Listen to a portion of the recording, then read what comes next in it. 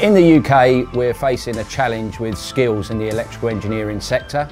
We're going to need more electricians and engineers to fulfil our decarbonisation objectives and we also need to make sure that these engineers are qualified to ensure that we have safety in the industry.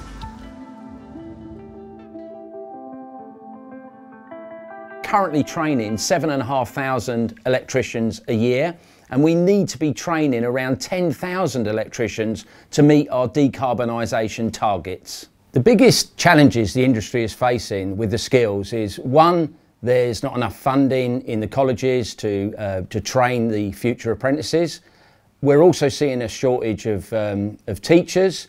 There's a lack of opportunities with employers for apprentices. And we also have a really big issue with short courses where apprentices are coming through that are not actually that well qualified and uh, this is uh, introducing safety issues in the industry.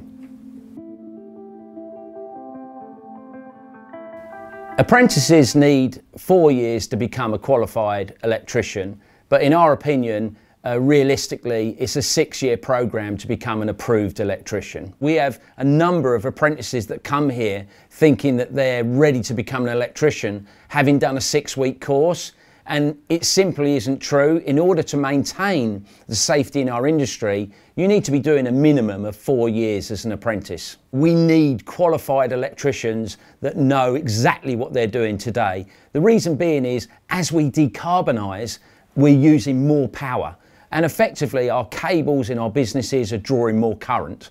So we really need to know what we're doing there. And obviously, if we're going to hit our decarbonisation targets, then we're going to need more qualified electricians.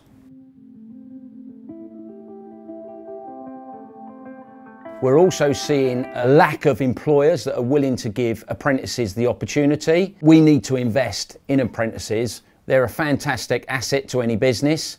And also I think with apprentices, you can train them for your culture of your business. So effectively, you're doing succession planning for a great business. Our apprentices here at PowerCor, I believe, are a great asset to our team. I was given a fantastic apprenticeship with SSE, and I feel it's my duty to train the future generation.